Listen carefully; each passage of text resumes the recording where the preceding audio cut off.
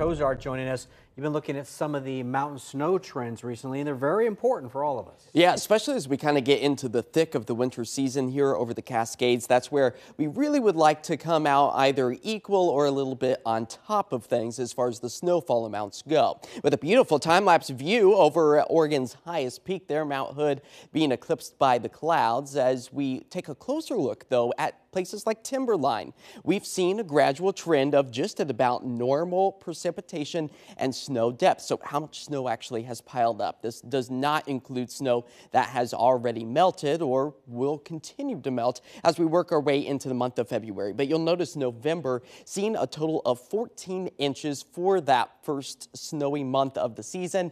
That put us at nearly 10 inches above the average for this time of year. But by the time we got to January, we kind of evened out, and so far we're holding steady at that average amount of snowfall for this particular day in the snow season. But we would still like to see a little bit more, especially after a little bit of a scare, I might say, as we moved into a little bit more of a drier weather pattern at the end of January and into February. That's where our snowpack numbers have started to improve for the Willamette Basin, Hood Basin as well well as we anticipate another round of snowfall after a bit of a warming trend that Natasha has been talking about for tomorrow. But Natasha, this isn't our only single shot at maybe seeing a little bit more snowfall in the coming weeks. That's right. We'll get a little here and there as we round out the end of the week, but what's going to be